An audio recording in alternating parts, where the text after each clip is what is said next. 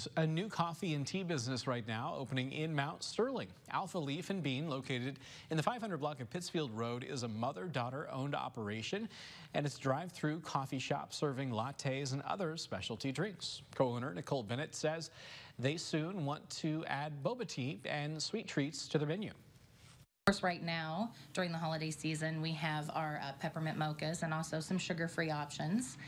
And uh, we do have a signature drink that's called our Strawberry Bliss, which is kind of a um, coconut milk strawberry shake-up. Alpha Leaf and Bean is open six days a week, Monday through Saturday. We'll have the hours on WGEM.com.